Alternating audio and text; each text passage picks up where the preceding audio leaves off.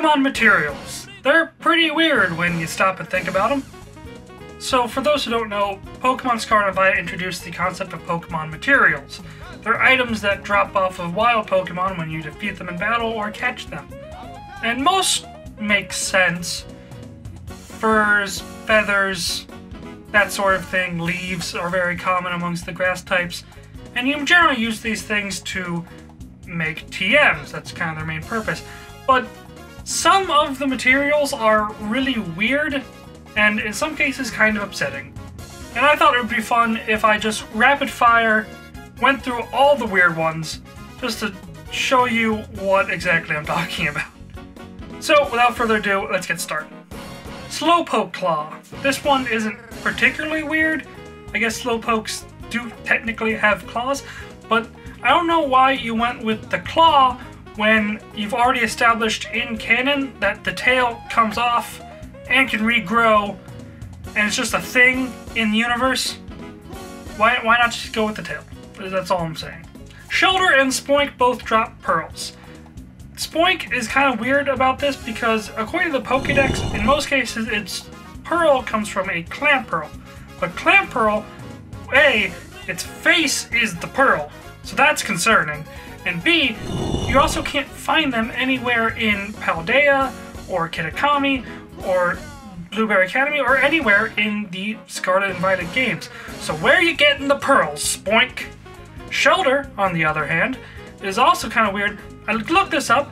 In most cases, when you harvest pearls from oysters, you end up killing the oyster. Did I murder a Shellder? Possibly. The next group I want to go through all together because none of them make sense. Gastly, Drifloon, and Salandit all drop gas. Rotom drops sparks. Varoom drops fumes, and Numel and Slugma both drop lava. All I want to know about all of these things is how the heck am I transporting any of these items? Well, you got me. By all accounts, it doesn't make sense.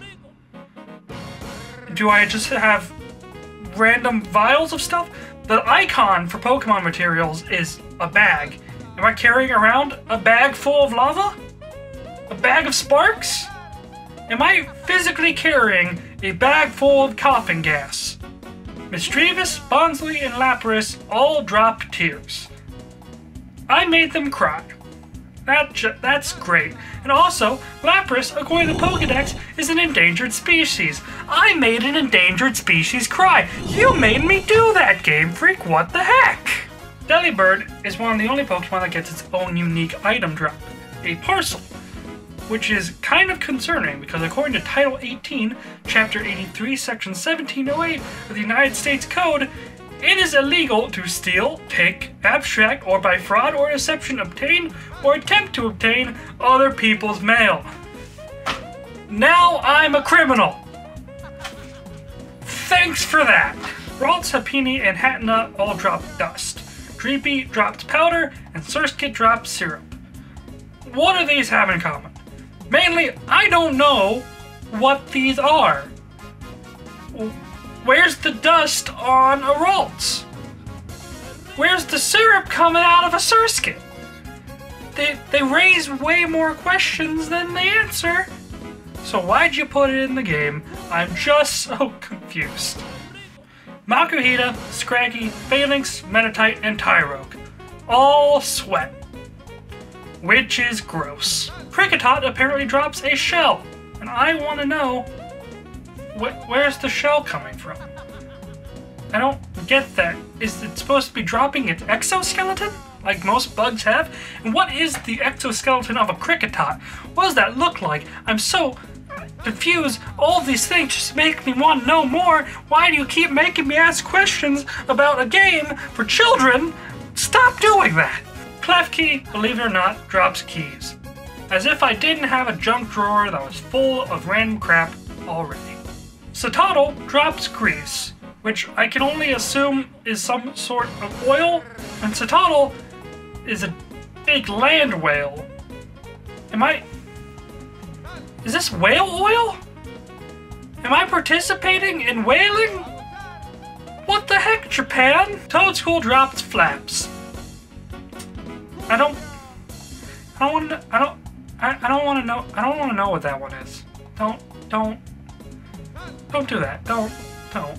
And finally, Morpeko drops snacks, which is only concerning because Morpeko needs snacks constantly to not go absolutely, totally, completely insane. Also, I, I, I kind of want to know what they taste like. I mean, Morpeko likes them. Look, what kind of snack is it? I want to know. I want to taste the snacks. Thank you guys for watching. That was all of the weird materials I thought up when I was scrolling through Pokemon Scarlet and Violet. Anyway, I hope you guys enjoyed the video. Like I said, I know this was a shorter one, but coming down the line later this month, I do have a much larger video coming out.